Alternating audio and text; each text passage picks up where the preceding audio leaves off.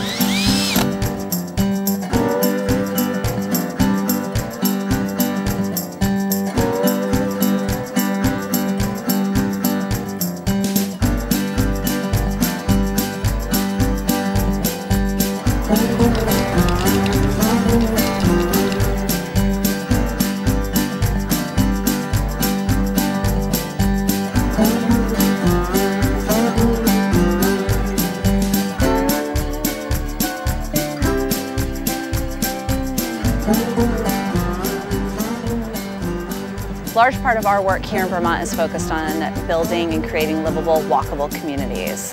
The Better Block experience will be a real opportunity for us to be able to test change um, and then ultimately see what we can adopt more long term.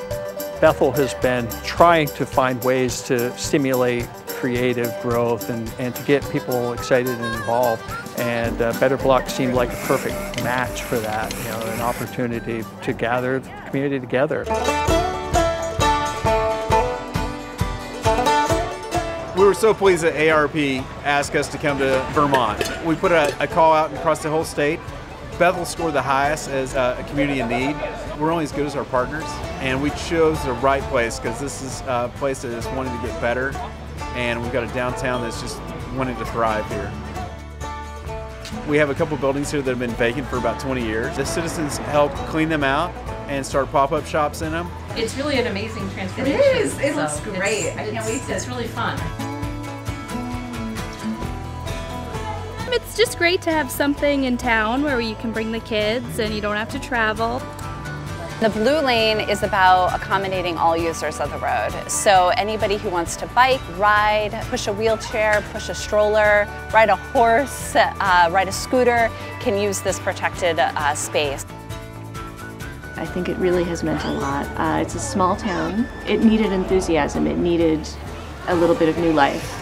And I think that we've been able to bring that back, if only for a weekend. Hopefully it'll have lasting effects.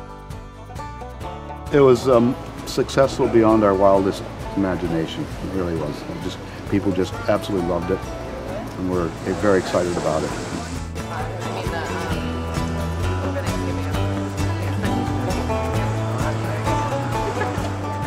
I love the, the way they, they've slowed down traffic that's just amazing because people do blow through here way too fast, and so they, they can't even slow down to appreciate anything this year.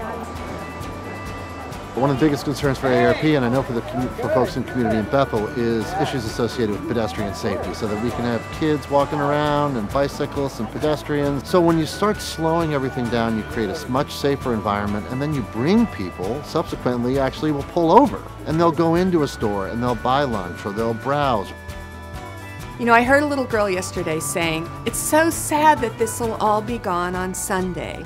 And I said, You know, it's not really going to be gone. What we've done is we've planted seeds.